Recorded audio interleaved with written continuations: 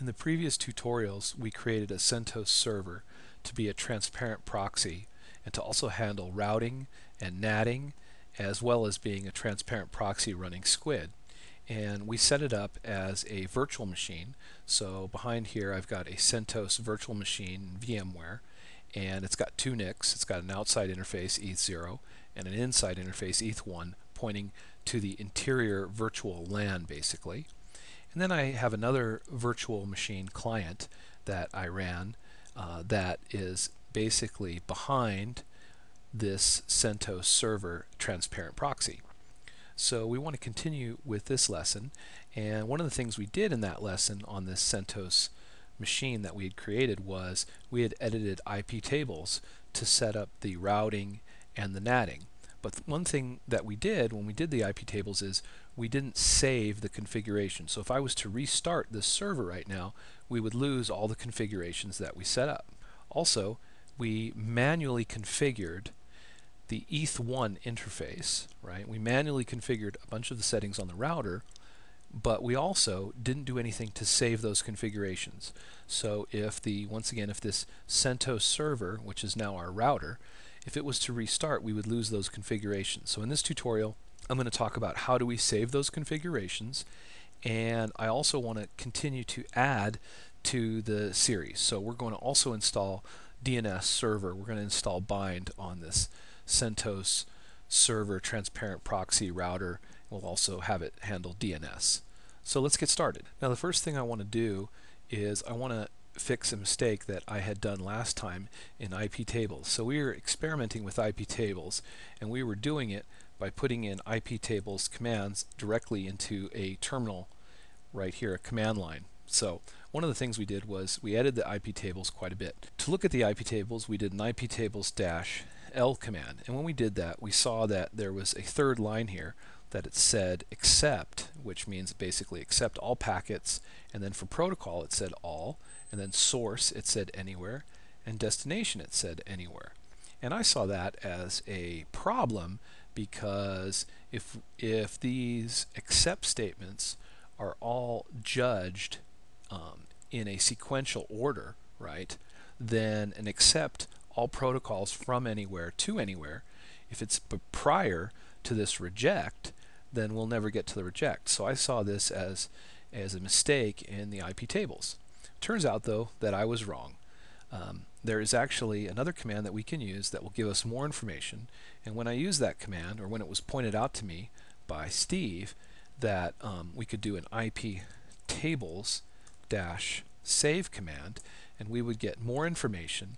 And some of the things in the information when you when you um, put this kind of output, the IP tables dash save command, it tells you about the interfaces. And it turns out that that command that I had deleted from the IP tables was only affecting the loopback interface. And the loopback interface is the 127.0.0.1 address. And so it was not a um, security risk or problem in the IP tables. It was not a problem, uh, essentially access list statement. It was fine because it was only affecting the loopback interface. So I thought what we could do is we could put it back. So let's go over that right now. So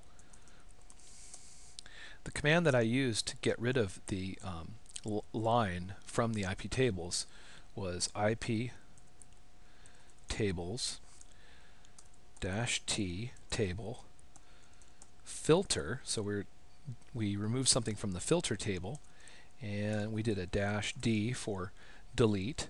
And we deleted from the input chain line 3 and that's how we got rid of line 3 so essentially what we want to do is we want to put it back so instead of what we're going to do is instead of dash D for delete we'll do dash capital I for insert and we're going to input on line 3 and then I'm going to do a dash lowercase i for interface and then LO for loopback dash J for jump target, which we'll put as an accept statement. So if we do that, and then we do the IP tables dash L command, you can see it's now back. Accept all protocols from any source to any destination. Now on the outside, this looks like a problem because it looks like it's accepting everything, um, which would, in sequential order, be prior to all these other statements, which makes them kind of useless. But, once again, if we do the IP tables dash save command, you can see that that line, which is the third line, you can see it right here, is actually accepting into the input chain on interface loopback, and so it's not actually really um, that big a deal. So might as well put it back. So now that we've put it back, basically the next question that we want answered is, what if we were to restart this CentOS server? If we were to restart the CentOS server, we would lose all of our IP tables. So what we need to do is we need to, if we're happy with the state of our firewall with, uh, and with the IP tables, we need to save this configuration. Okay, so what I'm going to do first is I'm going to save the running IP tables. In other words, the changes we've made in IP tables is essentially altering what we'd call the running configuration or the configuration in memory that's active. So what we're going to do is we're going to say IP tables dash save, right? And we're going to output it to a file that we're going to name iptables.conf. And this will be a text file. So we'll do that command first. All right, and we already have root permissions. We know that because we can see the pound sign here. So that's fine. Now we'll just cat that file to check it out. And you can see that it looks a lot like what we had seen when we just did the IP table save command. So we can see that this is basically the current IP tables configuration, right? And we can basically see the whole thing here. So you can see here that at the top here, this is the this is the Mangle table. You can see here this is the beginning of the NAT table, and you can see here that this is the beginning of the filter table. And there's nothing here from the raw table. So anyway, this is our IP tables configuration file that is running. This is not actually the the configuration file, the default configuration file or the saved configuration file, right? So this is just something that we've basically sent to a text file. Now the actual configuration file, I'm going to type clear here, of the IP tables the one, if we restart, what it would default to. If we were to restart this server now, the file that it would default to is in etc sysconfig and the file name is called iptables. So what we're going to do is we're going to back that up right now, which essentially it's the default or the original iptables configuration. So we'll say cp copy command root etc sysconfig ip tables. And what we'll do is we'll copy it to root etc sysconfig ip tables dot back. So we'll do that and let's cat it out just to check it out.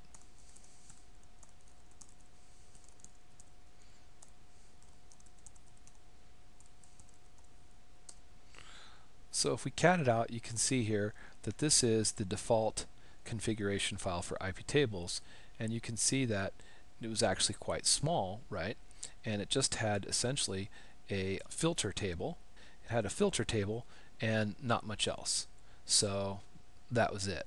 So this is the original file. So we backed it up. So now if we overwrite it if we overwrite the original we always have the backup to go back to. So what we'll do is we'll say move IP tables dot conf to etc sysconfig IP tables. And what that'll do is it'll move our file that we saved, iptables.conf, which has our edits, and it will replace the iptables configuration file. And that way, if that happens, then if we restart the server, our configuration file will be um, loaded and we won't lose our config basically. So we'll do that and says, do you want to override it? And so we say yes, and it's done. Now, what we want to do is we want to cat that out just to make sure that it worked. And you can see that when we catted it out, that you can see that it, it worked because now You can see there's our masquerade handling natting. We now have a nat table, we have a mangle table, and we have the filter table. So it worked. So anyway, that basically has now saved our IP tables configuration that we created.